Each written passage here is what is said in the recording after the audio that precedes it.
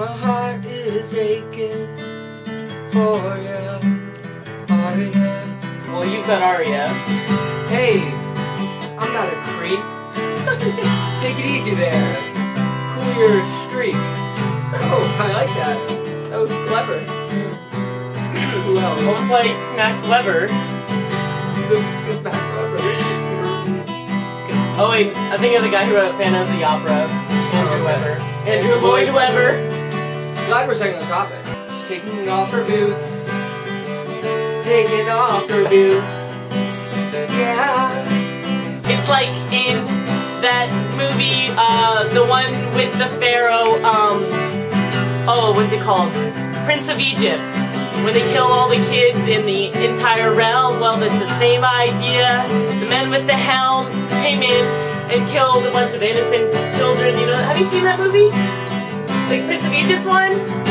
I haven't, I haven't seen that movie. Oh, I'm um, sure it's great.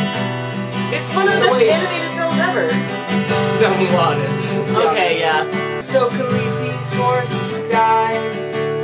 She hit on a lot of guys. Surprised she didn't cry. That was weird. So weird. Since we're on the topic of really weird, can we talk about Craster, the guy with the beard, and all of his daughters, who oh. are also his wives?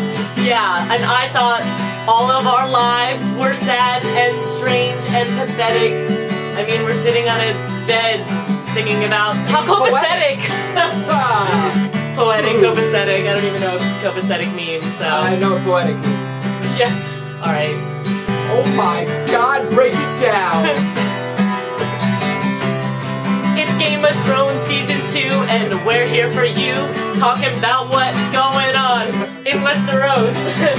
so here we are singing about Season 2. What did you all think, dude?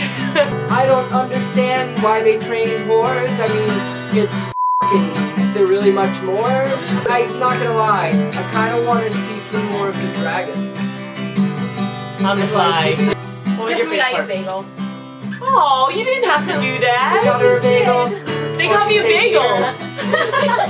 That nice? That is, that is really nice.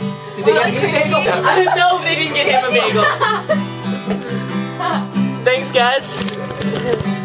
Chris, do you like cream cheese? I love cream cheese. Okay. So that's all, folks. Thanks for watching. We'll see you next week.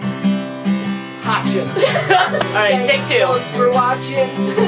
we'll see you next week. Still got nothing to write with watching. Hope you haven't forgotten about us. Yes.